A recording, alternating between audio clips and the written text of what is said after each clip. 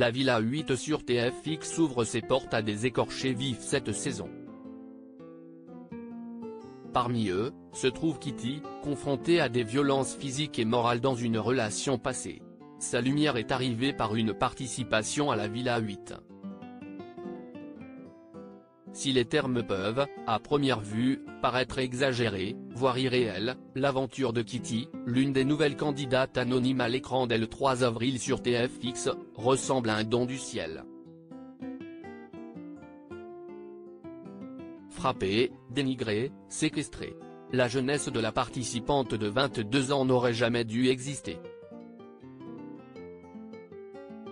Je suis abîmé en amour, sa problématique euphémique cache une jeune femme, à peine majeure et pourtant déjà démolie par la vie.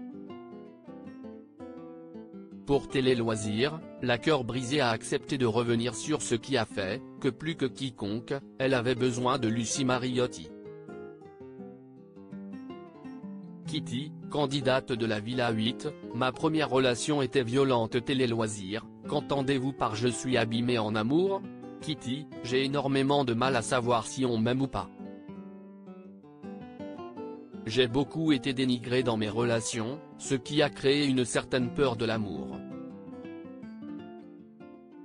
Mes relations étaient très compliquées et ont affecté la façon dont je peux aimer quelqu'un. Comment se matérialisait le dénigrement dont vous étiez victime? Ma première relation était violente dans tous les sens du terme. J'étais dénigré au niveau de mon travail, de ma personnalité et de ma façon de m'habiller. Toute ma personne était constamment remise en question. Dans ma deuxième relation, la personne ne me montrait pas d'intérêt. Ces actes, vous les avez gardés sous silence? Je n'avais que 16-17 ans, je subissais ça seul. C'était compliqué d'exposer ça à des personnes de ma famille ou essayer de trouver de l'aide. Je m'étais mise seule dans des problèmes, donc je voulais m'en sortir seule. J'en ai parlé par la suite. Mes proches m'ont aidé à comprendre que la situation dans laquelle j'étais n'était pas normale. Ils m'ont très bien entouré.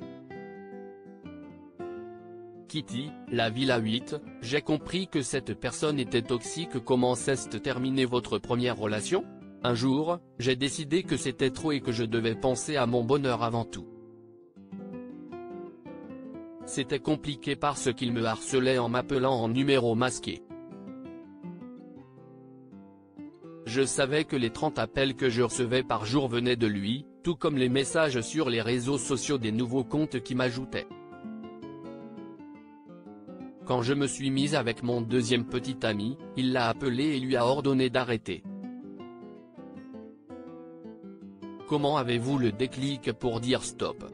Je grandissais, j'allais avoir 18 ans et ne pouvais pas sortir avec mes copines comme je le voulais.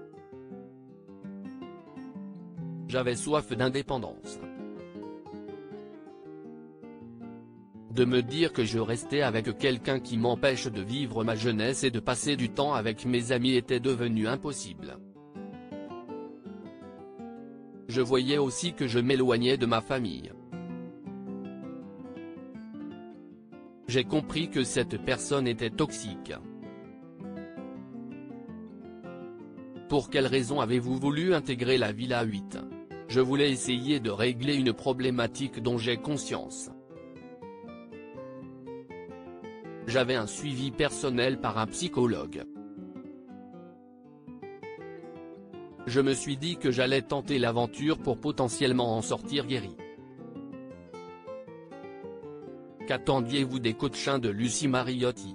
Je voulais qu'elle m'aide à comprendre pourquoi certaines choses de mon passé se sont déroulées comme elles se sont passées et comment expliquer qu'aujourd'hui, je n'arrive pas à me poser dans une relation sérieuse.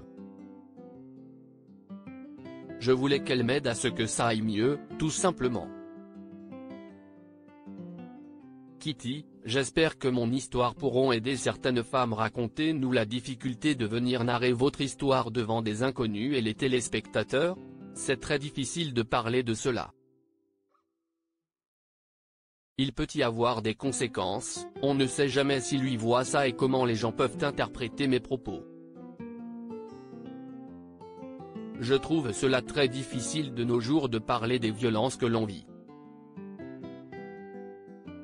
On a très peur que les gens ne comprennent pas pourquoi nous sommes restés dans cette situation.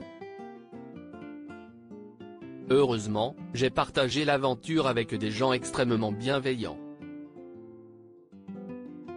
Vous avez reçu de nombreux soutiens spontanés de la part de vos camarades. J'ai vu que tout le monde était bienveillant avec moi, ça m'a fait tellement de bien. Il m'apportait beaucoup d'énergie positive.